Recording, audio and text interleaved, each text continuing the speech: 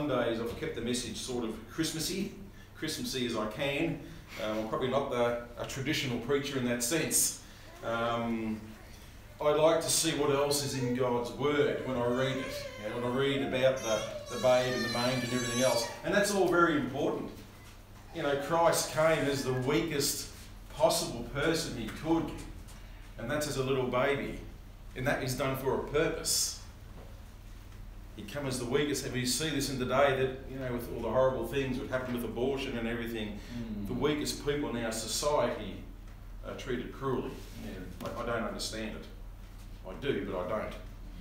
Um, but this, the last three weeks, uh, we first looked at uh, Matthew uh, chapter 1. Um, the title then was To Prove or Not to Prove. And uh, it was the time for, uh, for proving um, Just get my mind back to it again in Matthew chapter 1. Just stay with me Luke there, please.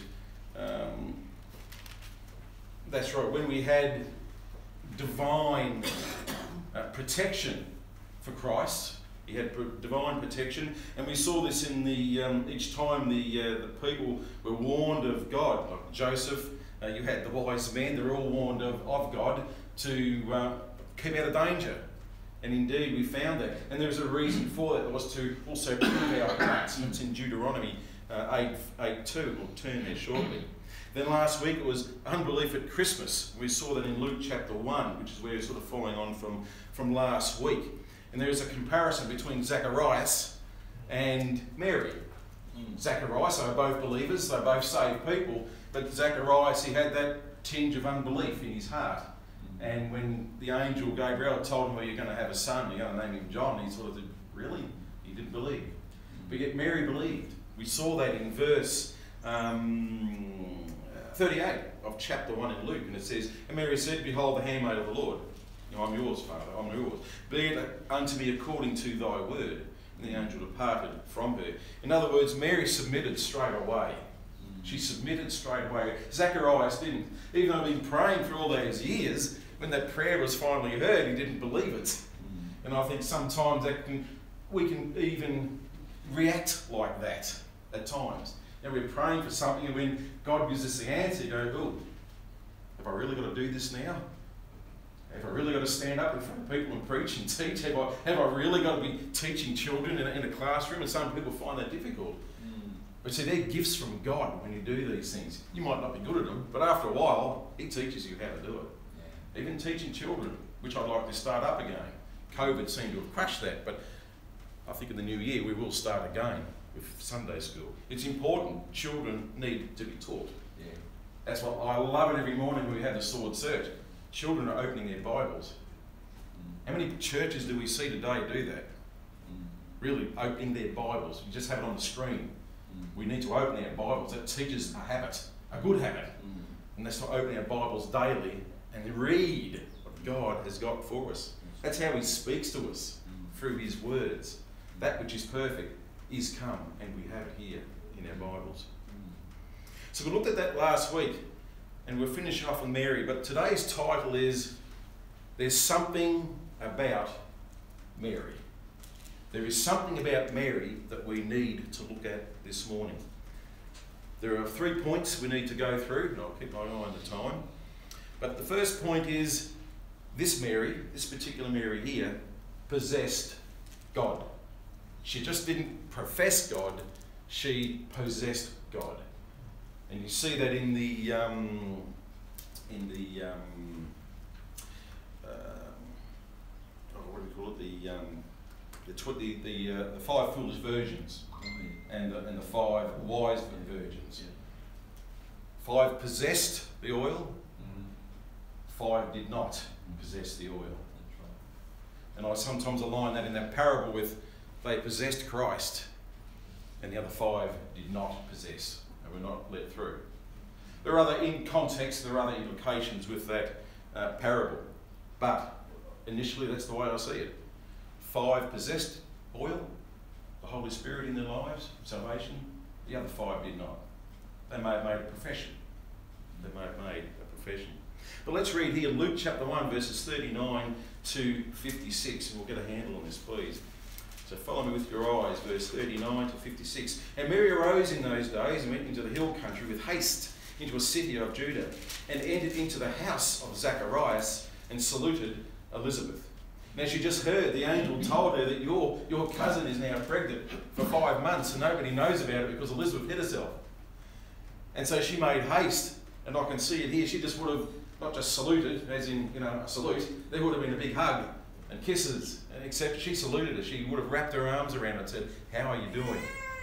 Especially in her old age. And it came to pass that when Elizabeth heard the salutation of Mary, the babe leaped in her womb, and Elizabeth was filled with the Holy Ghost. Mm. And she spake out with a loud voice and said, Blessed art thou among women, and blessed is the fruit of thy womb. And whence is this to me that the mother of my Lord should come to me? So Elizabeth herself was a saved woman. Mm. She possessed Christ. She possessed God, my Lord. For lo, as soon as the voice of the salutation sounded in mine ears, the babe leaped in my womb for joy. And blessed is she that believed, she's talking about Mary here, for there shall be a performance of those things which were told her from the Lord. And Mary said, My soul doth magnify the Lord, and my spirit rejoiced in God my Saviour. Mm. So, in other words, Mary made known the Lord. That's what the word magnified means, is to make known, mm. to, to spread the news. She, she wasn't a sort of woman to hang back and not speak about God.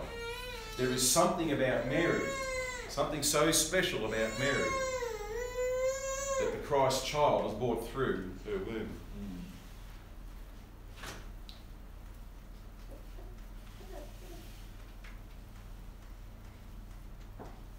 And my spirit hath rejoiced in God my Saviour. Once again, just like Elizabeth, she was a saved woman. God my Saviour. In the Old Testament, people were saved by faith in God, just like we do today. They were saved by faith. For he hath regarded the low estate of his handmaiden. For behold, from henceforth all generations shall call me blessed. She possessed God in her heart, and she was a humble person.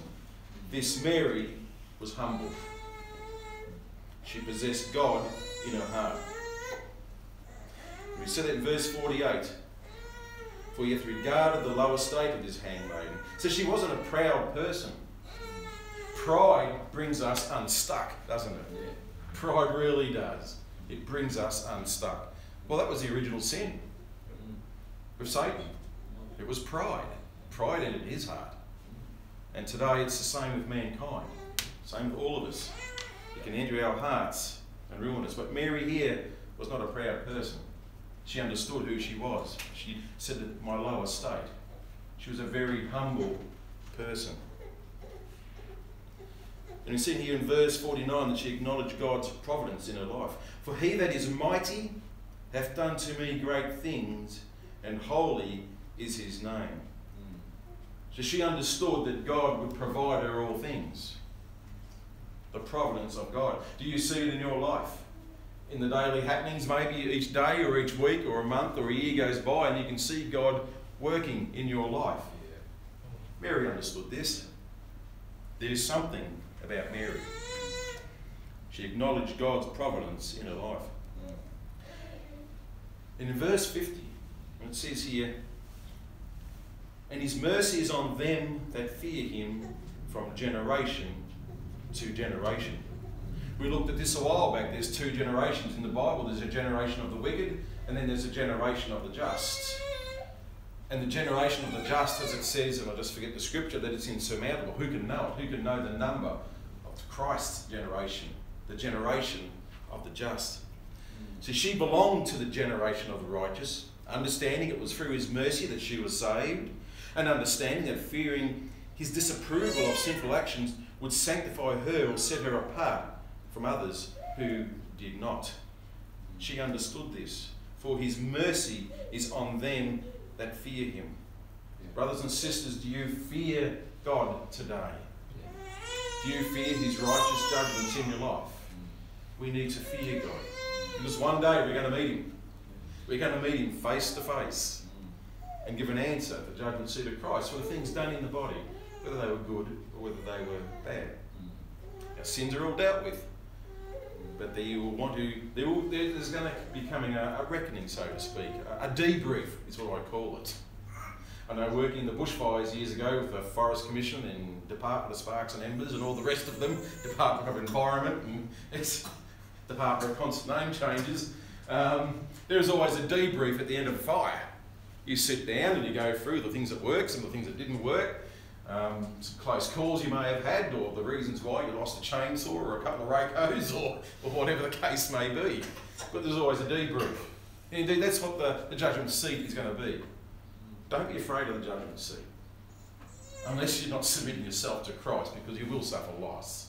You, you will be saved, saved by fire. But we should be looking forward to it. As Christians who have submitted ourselves, just like Mary, we should look forward to that day where disputes with other Christians will be settled there and then, done with, out of the way, no more to worry us.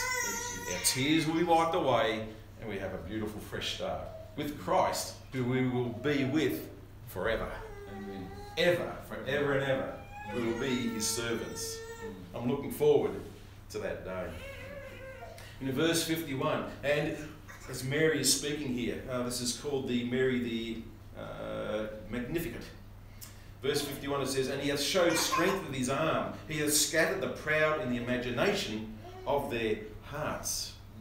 See, she also understood that Christ came, had come through her, and not to be proud, not the rich, nor those with governmental authority or the famous. You see, she didn't come, Christ didn't come through those people. He came through a humble handmaid of the Lord. Mm. There is something about Mary, mm. and there is something about Mary that we should be looking at in our lives. Mm. And for the men, I don't mean changing your identity, which is going on so much today. Okay, it's it's that within us. It's that very being of our souls. It's actually our heart. If you turn back quickly, if keep your bookmark there, but Deuteronomy chapter eight, it's really our springboard text for the last few weeks. It's our springboard text. There's something about our hearts. As it says here in uh, Deuteronomy chapter 8 and verse 2, and it says here, And thou shalt remember all the way which the Lord thy God led thee these 40 years in the wilderness. Now that's our lives. We're in the wilderness. Okay? To humble thee and to what? To prove thee. To know what was in thine heart. Whether thou wouldest keep his commandments or no. I'm a firm believer that our characters are our hearts, and that's what we take with us when we die. Yeah. We take our hearts. Yes, I understand we don't take, we, we come to the world with nothing, we go with nothing. Well, I don't know if that's true because we take our hearts with us. Yeah. Even, the, even the rich man, he had empathy for his brethren that were, when he was in hell. He felt for his brethren, but he was still wanting to argue with, with Abraham. He was still wanting to argue his case. But you see here, it's what we take in our hearts. It's, that's why we're still here. Christ is still sanctifying each and every one of us, where He can get us to the point where He can use us for in service for Him, and then He'll say, I'm taking you home now. I've got you where I want you. Now I can sometimes He does that to us. Sometimes I think little children die that the Lord's already, He has, He's taken care of them where there is no law, then there is no, um, what's that verse again? Where the law is not, oh, I've lost that one. Where the law is not imputed, um, there is no judgment. So for little children who don't know the law, don't understand the law, but yet they die, there's no judgment.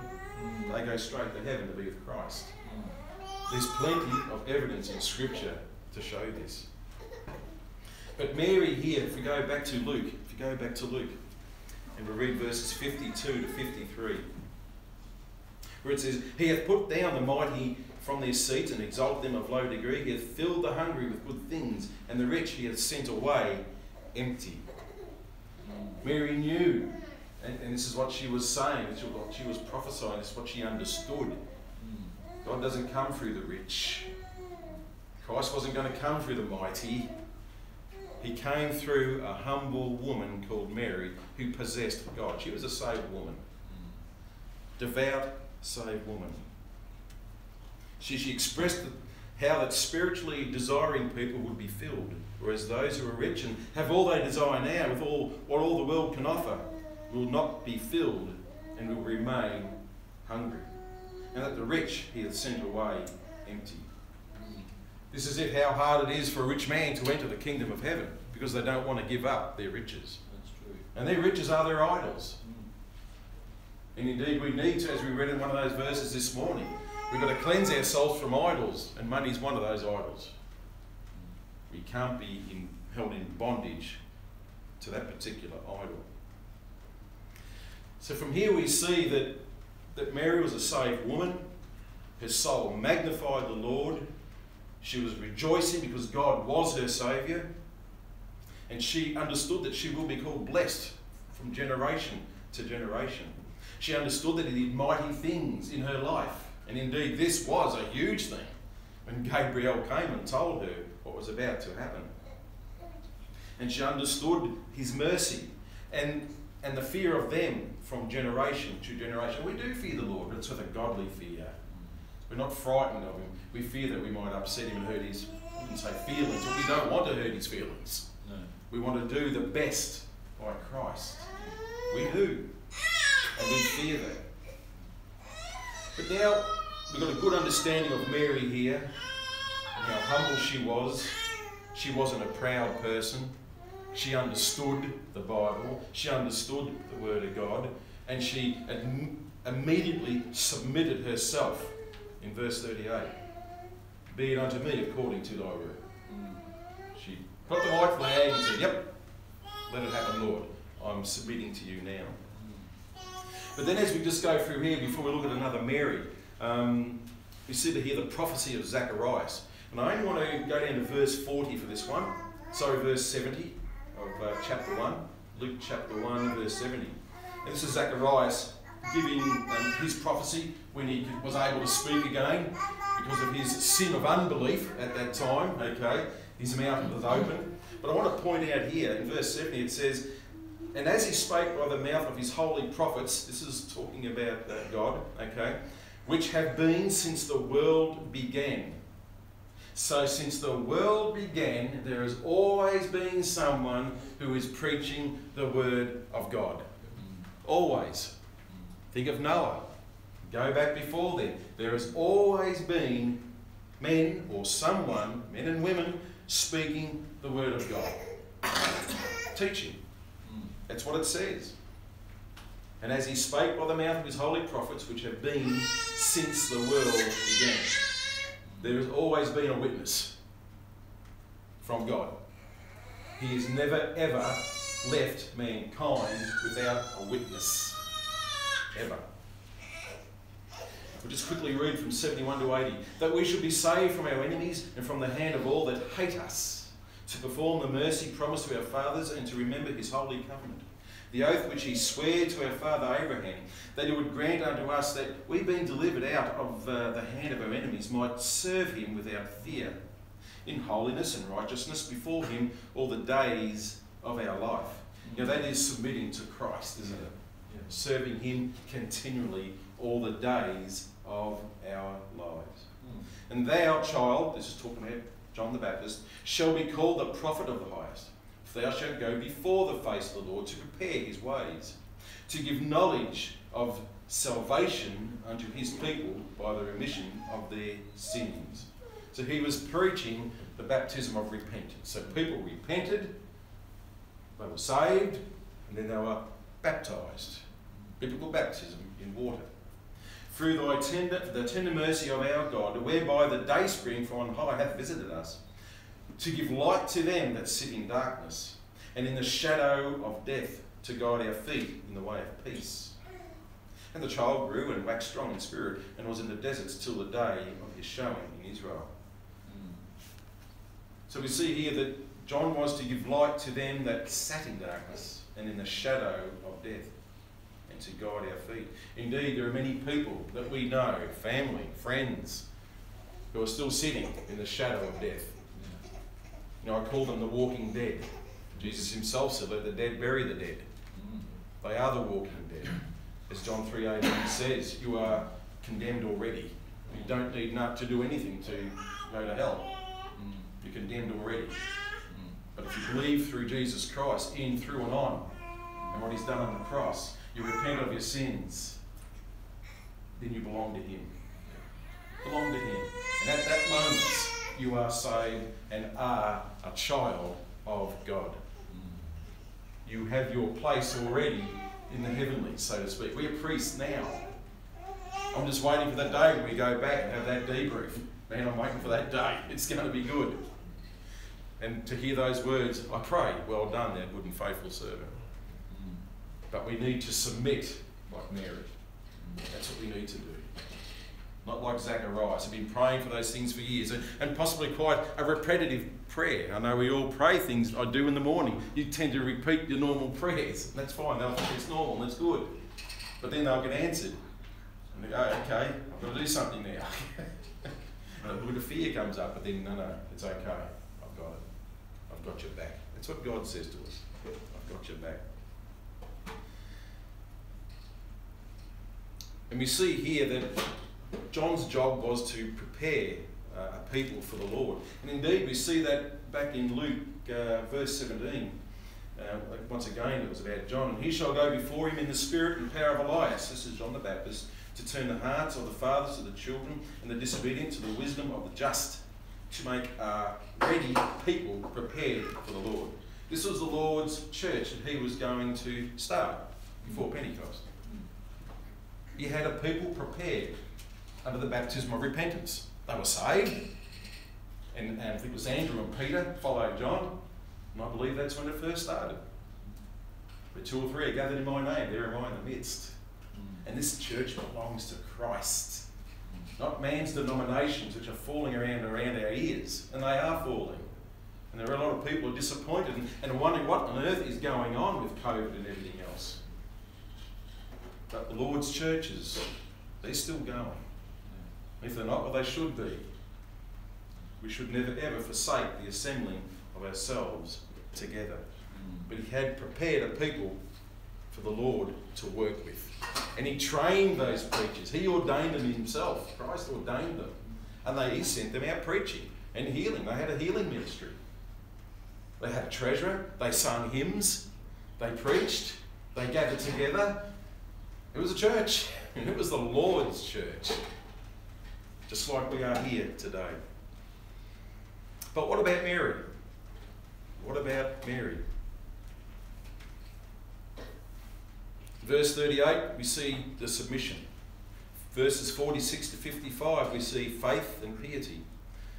In Luke 2 51, just back there, Luke 2 51, we see, and he went down with them and came to Nazareth and was subject unto them, but his mother kept all these sayings in her heart.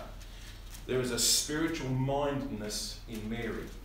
She kept all those things in her heart. She also had maternal confidence. John 2, Matthew, Mark, Luke, John. John chapter 2. John chapter 2, verses 3 to 5. John 2, 3 to 5. She had a maternal confidence. And when they wanted wine, the mother of Jesus saith unto him, They have no wine. This would have just been grape juice, the Muslims, before uh, they turned it into alcohol. Jesus saith unto her, Woman, what have I to do with thee? Mine hour is not yet come. His mother saith unto his, the servants, Whatsoever he saith unto you, or saith unto you, do it. So she had confidence in Christ. She was submissive, she was humble, and she had confidence in Christ. And today, when we sometimes tend to fear with what's happening out there in the world, Mary here had confidence. And these would have been big times of upheaval too. They had the, the Roman rule, etc. Wicked men in government like King Herod. No difference in the today. We've got wicked people in government too. There are some good ones there, but I think they're far outweighed. But Mary still had confidence in Christ. What is Seth? Do it.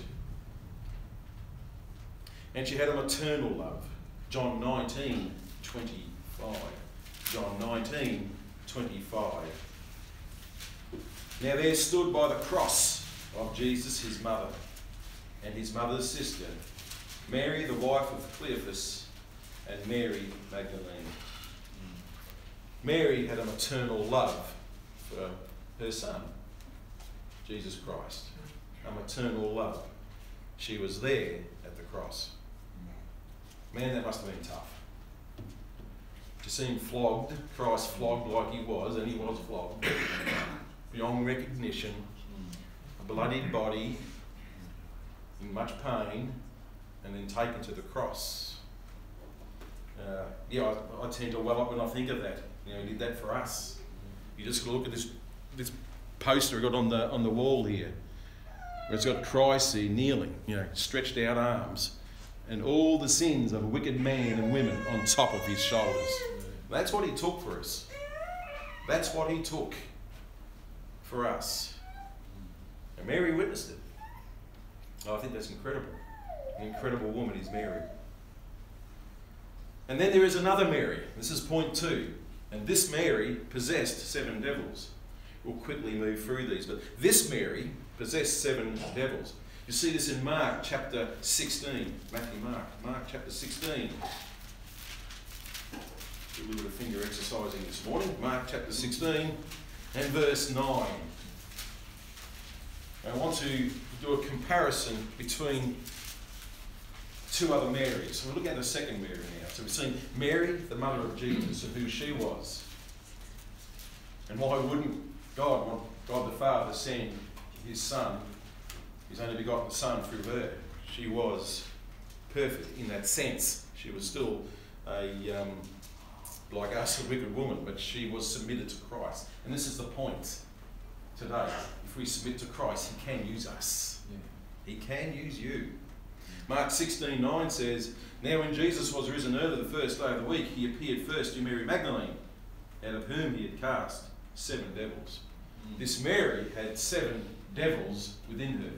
Jesus cast them out. I don't know if you, any of you saw this last year, but I saw it on TV, an interview with a woman. I don't know what her name was, I don't think it was Mary, but she said she had seven personalities. I thought that's interesting. Mary had seven spirits, seven evil spirits. And this woman said she had seven personalities. Mm. What's the chances? It's the same one. My brother saw the same thing and we discussed this. He said, Yeah, I thought of that as soon as I saw it. Is it the same seven spirits? Mm. I don't know. But this poor woman, she was had a miserable life fighting these seven spirits. Mm. Yet Christ here cast them out of Mary Magdalene. Mary Magdalene, she had a wonderful conversion. Luke 8 2. Luke 8 2. Luke chapter 8 and verse 2. Also, verse 1. And it came to pass after that he went through every, out every village, this is Christ, and preaching, and village preaching, and showing the glad tidings of the kingdom of God. And the twelve were with him, and certain women which had been healed of evil spirits and infirmities. Mary, called Magdalene, out of whom went seven devils. So she had a marvellous saving experience, if I could use that word. A wonderful conversion. She showed her gratitude by ministering to Christ. Mark 15, Matthew Mark, just back a few. Not many pages we've got to turn today. Uh, it's all in the same area. Uh, Matthew uh, chapter 15. Matthew 15 and 40 to 41. Mary had a ministry of ministering to Christ. And what it says here, there were also women looking on afar off, among whom was Mary Magdalene and Mary, the mother of James and uh, the lesson of Joseph and Salome, who also, when he was in Galilee, followed him and ministered unto him, and many other women which came up with him unto Jerusalem. So she served Christ, Mary Magdalene. She wasn't a she wasn't Mary, the mother of Jesus, but she was ministering and serving Christ. Think on that. She wasn't Mary, Mary of the Bible of, of, of the who gave birth to Christ. She was the Mary who had seven spirits cast out. But she was submitting to Christ, and Christ was using her and blessed her greatly, as we'll see shortly. You see, she was present at the cross in John 19 25. In John 19 25, We see here it says, Now there stood by the cross of Jesus his mother and his mother's sister, Mary the wife of Cleophas, and Mary Magdalene. So out of this woman went seven devils, but she's stuck by Christ, even to his death. She's stuck by Christ. That was in John 19 25. She was present there with Mary, the mother of Christ, as well. See, this was a family affair. If you go and have a look at all the disciples, there were brothers in there, they were good friends, and then mum and dad would come along as well. You see, the, the mothers are here. See, this is a real family church, the one that Jesus started. They didn't fight about the flowers that someone put up on the stage and got it wrong or, or whatever. And I've heard of church splits over flowers. It's so sad, yes. There wasn't any of that. They were a family, they were one. And the mothers were involved in this, in this ministry. I think it's wonderful to see. And a lot of these, these boys are really only older teenagers. John would have been the youngest because he, he died the last. He was probably only an old teenager, 19, 20, I don't know. But he wasn't an old man then. These were young men, Young men serving Christ. And their mothers and fathers were involved as well. Definitely the mothers. Definitely the women. So she had a wonderful conversion. She showed, showed uh, her, her, her gratitude to Christ by ministering to him. She was present at the cross. And then she's also present at the sepulchre. Matthew 27. Matthew 27. I hope you find this as exciting as I do. Matthew 27, verse 61. Matthew 27, 61. And it says here, And there was Mary Magdalene and the other Mary sitting over against the sepulchre. She was there.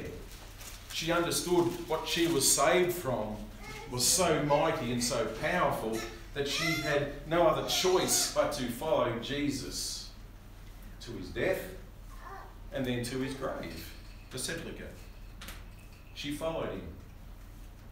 And when you probably would have seen Mary the first time before her wonderful conversion, she was possessed with seven devils. What was she like? Well, we've only looked out in the outside world to see what people are who are drug users, alcoholics, etc., etc., to see what demonic control that people are under today. And indeed, we've got a book at the back there, um, The Liquid Devil. And the Bible calls it, um, what do we call it again in, in Corinthians? The Cup of Devils. Alcohol is called the Cup of Devils. And if, yeah, Strong drink is called spirits because they are spirits. yeah, totally. And they mix them. That's right. Spirits are not good. They send you troppo real quick. But you'll see there in context that you're not supposed to even partake of the Lord's Supper in a church setting if you're habitually drinking alcohol. Hmm. It forbids it. You cannot partake of the Lord's Supper and the cup of devils. Very interesting. She was present at the cross and at the sepulchre. And indeed, in 28 1, she was there. In the end of the Sabbath, as it began to dawn toward the first day of the week, came Mary Magdalene and the other Mary to see the sepulchre. You know, she was the first person to whom Christ appeared after his resurrection in Mark 16 9. She was given a wonderful revelation in John chapter 20. This is this other Mary, John chapter 20. Matthew, Mark, Luke, John. John chapter 20, um, verses 11 to 18. John 20, 11 to 18, where it says, But Mary stood without at the sepulchre, weeping, and as she wept, she stooped down and looked into the sepulchre. This is Mary Magdalene. And saw two angels in white sitting, the one at the head and the other at the feet, where the body of Jesus had lain. And they say unto her, Woman, why weepest thou? She saith unto them, Because they have taken away my Lord. See, my Lord. She, she possessed Christ. Mm. My Lord. Not your God. My Lord. That's what she said. My Lord. And I know not where they had lain him.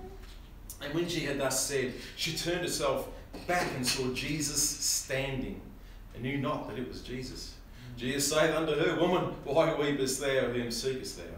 She, supposing him to be the gardener, saith unto him, Sir, if, if thou were have borne him hence, tell me where thou hast laid him, and I will take him away.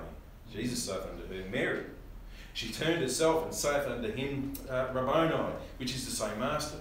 Jesus saith unto her, Touch me not, for I am not yet ascended to my Father, but go to my brethren, and say unto them, I ascend unto the Father and your Father, and to my God and your God.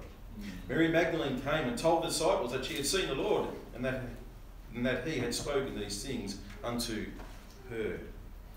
See, when Mary first saw the Lord here, Mary Magdalene, Christ had not yet ascended to the Heavenly Father to sprinkle the blood on the, on the altar in, the, in, the, um, in, in heaven, on the altar, in the temple there, the tabernacle, sorry.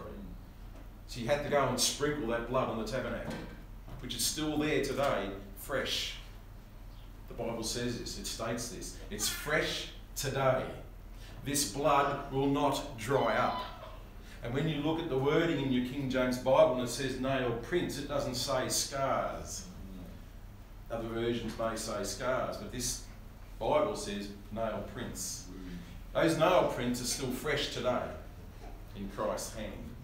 The blood will never ever dry up on that altar that has been sprinkled in heaven. That's why Mary couldn't touch him. She still she was still tainted with corruptible blood, just like you and I are. But later on, you see, and I think it's in Mark, where they both women were allowed to touch him. So he ascended up to heaven, sprinkled the blood on the on the altar, came back down, and then the rest is history, as they say. And then they were allowed to hold him and touch him, and they did. Mm, they did. But here he wasn't, they weren't allowed to touch him. And we see that in Matthew 28, verse 9. Just, just to prove a point, Matthew 28, verse 9. Go quick, I don't want to keep you too long. And it says here, And as they went to tell his disciples, behold, Jesus met them. So he met them again, saying, All hail. And they came and held him by the feet and worshipped him. So this is the course of events. Mary Magdalene, the one whom the seven devils had been thrown out, was, had the privilege of seeing Christ risen first. Such is the forgiveness of God. Jesus goes up, ascends, sprinkles the blood on the altar, comes back down, and then he's met by these two women. And this time they're allowed to touch him. I think that's marvellous. I think that's marvellous. What a remarkable honour to be bestowed upon someone who had seven devils cast out. Mm. What a remarkable honour. Christ Himself. The third Mary, which is the last Mary today, is Mary of Bethany. And point three of this is this Mary possessed good works. And this is where I want to challenge us today. This Mary was immortalized by Christ. Mark chapter 14. Mark chapter 14. Verses 3 to 9. Mark chapter 14. Verses 3 to 9. And it says, I shall start at verse 1. After uh, two days was the feast of the Passover of an unleavened bread, and the chief priests and the scribes sought how they might take him by craft and put him to death. Someone called this a conspiracy. Aren't we told that, you know, tin hat wearers or foil hat wearers are conspiracy theorists? Well, a lot of those conspiracies are coming true. what I've seen. Turn up the website on the Australian um, government website, and you'll see we're talking about chips, implantable chips into people, Yeah. and the ramifications of it. It's there. It's not. It's not in the shadows anymore. In verse two, but they said, not on the feast day, lest there be an uproar of the people. And being in Bethany, in the house of Simon the leper, my goodness, Christ came to a leper. Didn't, didn't didn't faze Christ one bit, did he? Who he sat with? Someone who was diseased. He sat with the lepers. And as he sat at meat, there came a woman having an alabaster box of ointment and spikenard, very precious. And she broke the box and put it on his head. And there were some that had indignation within themselves and said, Why was this waste of the ointment made? For it might have been sold for more than three hundred pence and have been given to the poor. And they murmured against her. They murmured against a good woman doing what she thought was right for Christ. what Christ had laid it on her heart to do. Mm. And Jesus said, Let her alone. You know, I can see Christ, he's not, he's not mincing words here. No. Let her alone. You know, he's telling him, Leave her be. Don't mess with Mary. Mm. He's telling her, Let her alone. Why trouble ye her? She hath wrought a good work on me. For ye have the poor with you always, and whensoever ye will, ye may do good to them. And indeed we do. Indeed we do. With tithes and offerings and what we put in there, we do good to those, to spread the gospel, to help the poor, the children who are starving in this world. But me ye have not always. She hath done what she could. She is come aforehand to anoint my body to the burying. Verily I say unto you, wheresoever this gospel, in other words, the word gospel means good news. So wherever this gospel or good news shall be preached throughout the whole world, this also that she had done shall be spoken of her, sorry, of for a memorial of her. This Mary has been immortalised in Scripture. We read about Mary of Bethany. There is something about this Mary. You know, Christ here, he, he didn't worry him about sitting with those who are diseased. But these other fault finding peanuts just wouldn't let her alone. But Christ put them in their place. Let her alone. Leave her be. Luke chapter 10. If we go up here, we'll talk about this Mary just a little bit more. I won't keep you too much longer. But Luke chapter 10, verses 38 to 42. Luke 10, 38 to 42. And this is the same Mary, Mary of Bethany. Now it came to pass, and I think you'll recognise this story. Now it came to pass as they went that he entered into a certain village, and a certain woman named Martha received him into her house. And she had a sister called Mary, which also sat at Jesus' feet and heard his word. This Mary was in into God's word. She would sit at the feet of Christ and just listen. And that's what we need to do. Yeah. Sit at the feet of Christ and just listen. Read, let it soak into your hearts, and listen to what the word has got to say. But Martha was coming about with much serving, and came to him and said, Lord, dost thou not care that my sister hath left me to serve alone? Bid her therefore that she should help me, that she help me. And Jesus answered and said unto her, Martha, Martha, thou art careful and troubled about many things, but one thing is needful, and Mary hath chosen that good part, which shall not be taken away from her. Shall not be taken away from her. Mm. She possessed Christ too. And she was not going to lose him. That good part, she understood. She wanted to listen to what God had got to say. And it was not going to be taken from her. But how many Marthas do we know in this world? Sometimes I think I do change gender and I become a Martha. I'm worrying about everything. You do. We, we turn to worry about things. We're here, we're there, we can do three towns in one day, or we can do whatever. You know, we can be so busy that we're not sitting at the feet of Jesus. Mm. There is something about this Mary. There is something about her. This Mary had spiritual receptivity. In verse 39, she was receptive to God's words. She sat at Jesus' feet. This Mary had spiritual insight in verse 42. There's one thing that is needful, and Mary knew what was needful in her life. She had spiritual insight. And this is what we can take away today from this Mary. She was also a person who was quiet and with resignation. And we see this in John, Matthew, Mark, Luke, John, chapter 11. If you don't mind turning there, not long to go. John chapter 11 and verse 20. And Martha, as soon as she heard that Jesus was coming, went and met him. But Mary sat still in the house. This is when they lost their brother, Lazarus, when he died. Yeah. Remember that story, that account, I should say. Yeah. She was quiet. She didn't go out like Martha. Martha might have been a bit more extrovert, maybe. I don't know. But Martha was a bit more, sorry, Mary was a bit more introvert, a bit more soft and tender hearted. And she resigned herself to the fact that my brother has died and Christ will come to him. And that's exactly what happened. Exactly what happened. You know, she sat three times at Christ's feet.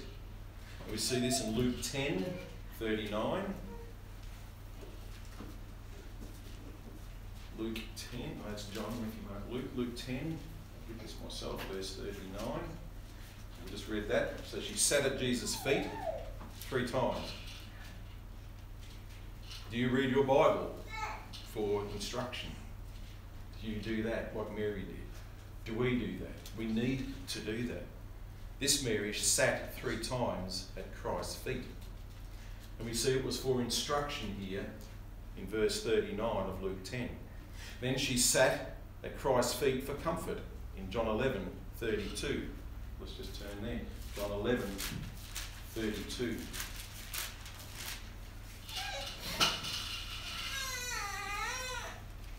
Then, when Mary was come where Jesus was and saw him, she fell down at his feet, saying unto him, Lord, if thou hadst been here, my brother had not died.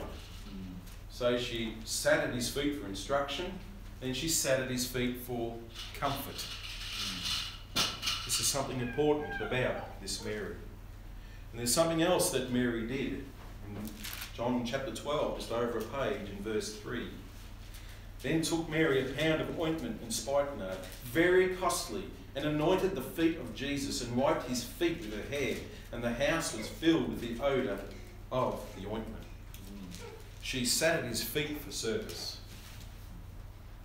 You know, that's something that we should be doing. We should always be sitting at the feet of Jesus for instruction, for comfort, and for service. Mm. That's what we should be doing. You know, she wiped the dust, or she wiped the, probably the dust and the grime of Christ's feet.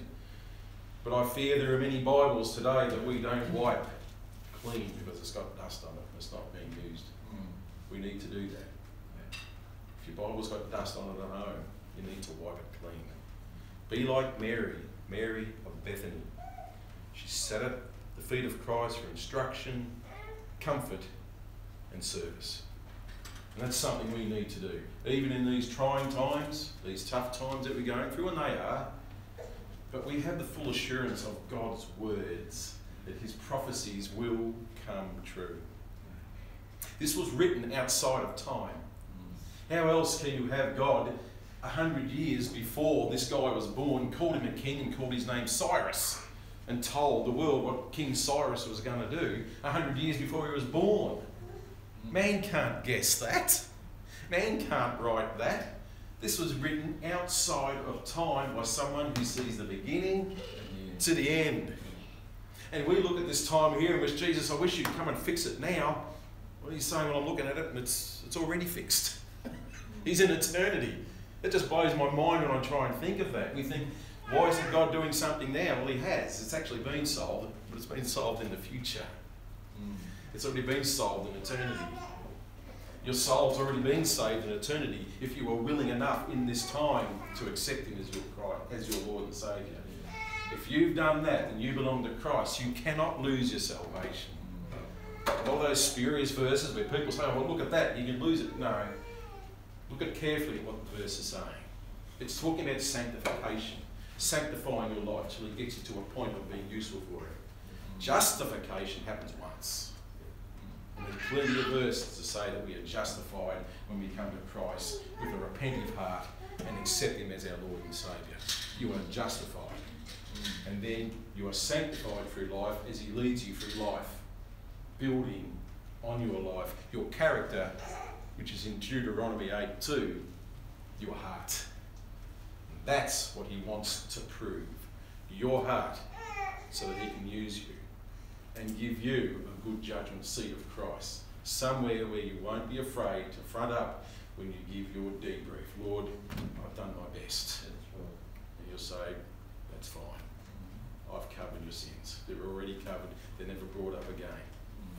Mm. Enter thou in the joy of thy Lord. I'm glad, I'm hoping, I'm praying that that sermon today on the three Marys, we can see ourselves in this. We see the Mary, the mother of Christ, and how great a woman she was. We see Mary Magdalene, and what sort of a woman she was, but yet she was privileged to see Christ. as soon as he had risen. What a privilege. And yet she was a sinner, like all of us. Even the mother of Christ was still a sinner. And then we see Mary of Bethany, someone